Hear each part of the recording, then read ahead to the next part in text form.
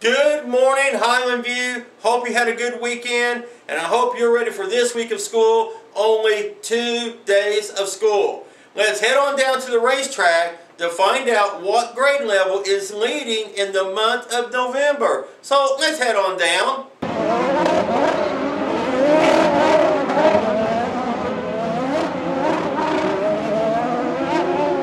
Congratulations, second grade 97.9% attendance for the month of November.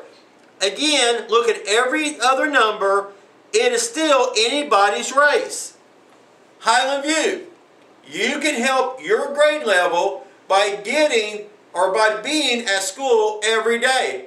Highland View, right now, as a school, you have 95% attendance for the month of November, and that is outstanding. So again, your grade level may not win, but by being a school every day, all day, you can help your grade, you can help your school, Highland View, to come in first place.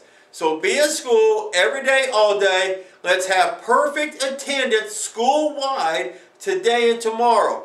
And remember, tell your classmates, your, your teammates, Tell at least two to three people every day, I'm glad you're at school today and I want to see you at school tomorrow, okay? All right, remember the three things that we tell you? We love you, we believe in you, and we value you. In Highland View, when you're not at school, we truly do miss you. So we want you at school just so that we can see you and help you and encourage you.